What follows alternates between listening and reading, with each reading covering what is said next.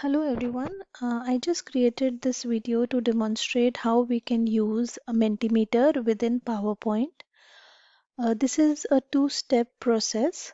Uh, step one, you need to uh, sign up if you haven't signed up yet or log in to Mentimeter.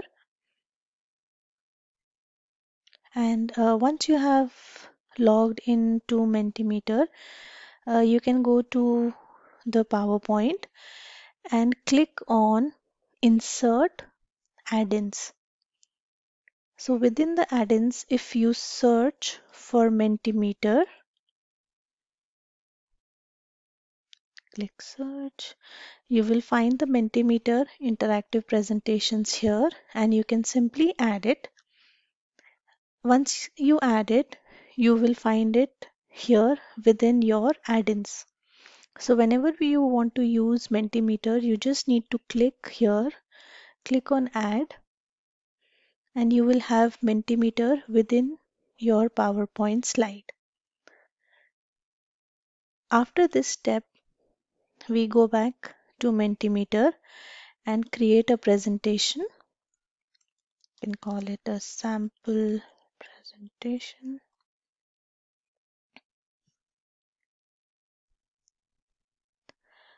And then you will get all the different options. So suppose I want to include a multiple choice question. How are you feeling today?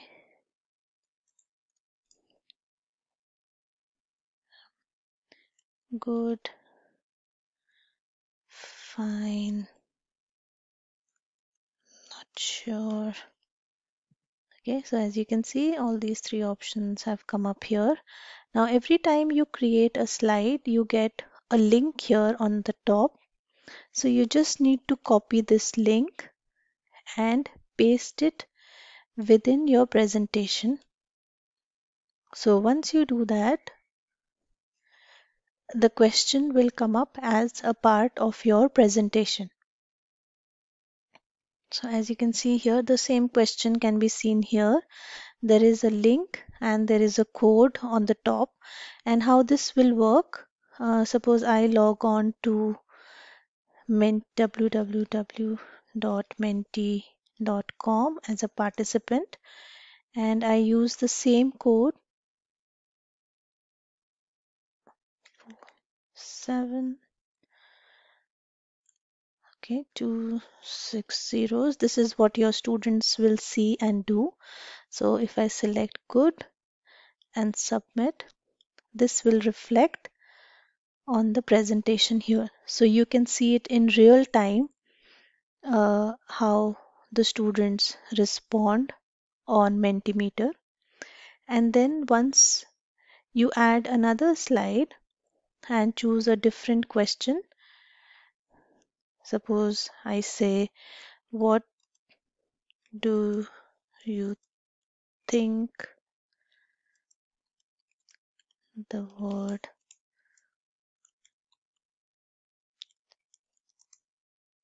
substitution means?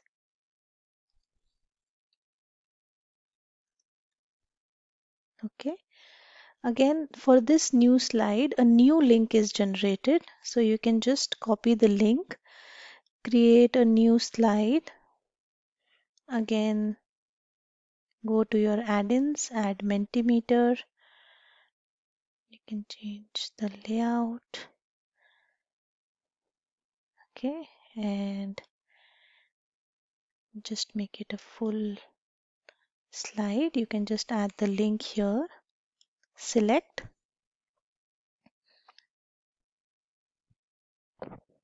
and the new question will come up here. It just takes a few seconds.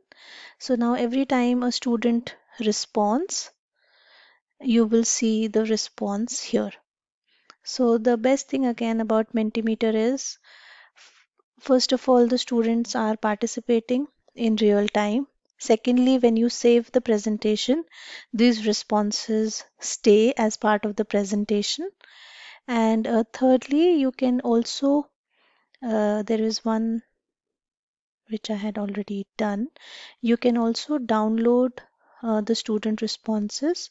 So if you have any presentation, you can just export the results. So the results are available in different forms in Excel, in presentation, in the forms of screenshots. So I hope you find this uh, video useful